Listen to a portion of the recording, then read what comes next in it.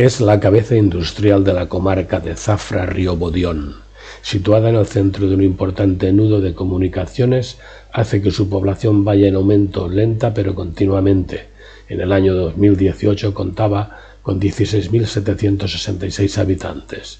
Fue declarada Conjunto Histórico Artístico de Interés Nacional en 1965.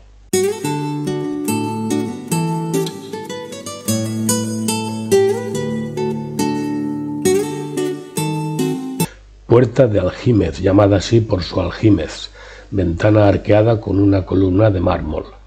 Varios lóbulos forman los arcos de estilo mudéjar. Fue una vivienda con doble finalidad, comercial, planta baja, y privada, planta alta. Se utilizó como expendedora de preparados medicinales.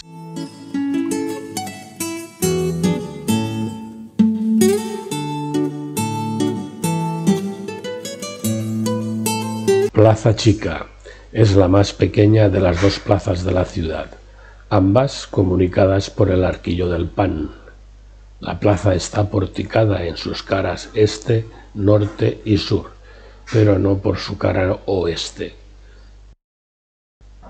En la columna más cercana del arquillo tenemos la famosa vara de zafra, en otro tiempo referencia de medida para los comerciantes que se asentaban en la plaza y que hoy es testimonio vivo.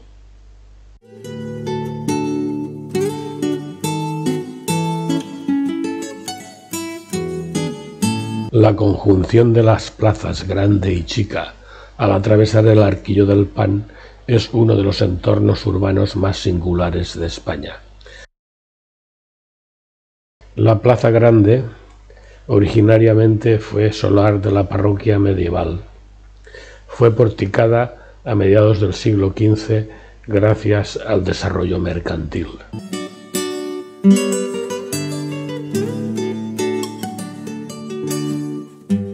Comienzan las obras en 1527, en tiempos del conde de Feria Lorenzo Suárez de Figueroa. En 1545 la iglesia ya estaba en condiciones de acoger el culto, teniendo edificados la cabecera, el transepto y la antigua sacristía. Esta puerta data del año 1700.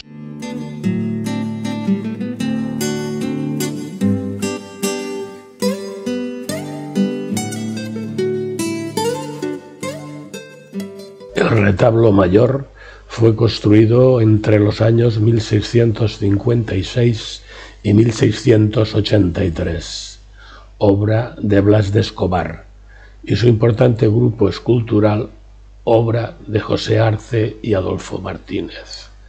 Además, tiene obras de arte como el retablo de Zurbarán, el retablo de la Virgen del Carmen y la capilla de la Virgen de Valvanera.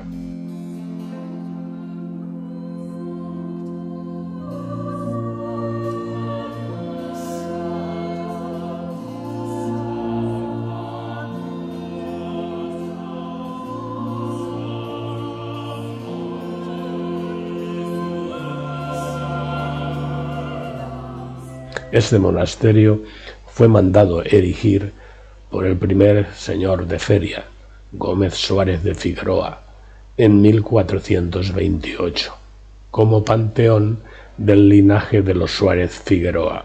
Puebla con monjas clarisas procedentes de Tordesillas, y las dos primeras abadesas serán sus dos hijas. Este museo quiere mostrar lo que fue y es la espiritualidad y la sencillez de la vida claustral de las hermanas clarisas, lo que supuso para la comunidad histórica el patronazgo de la casa de feria y cómo el monasterio se ha ido integrando en la ciudad de Zafra.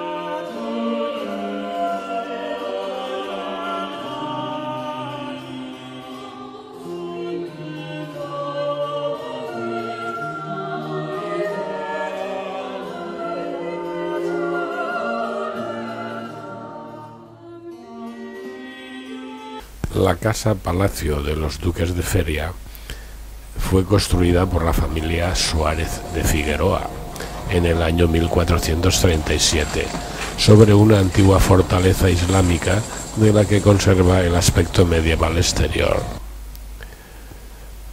La portada del alcázar está presidida por las armas del duque de Feria y su esposa, doña María Manuela.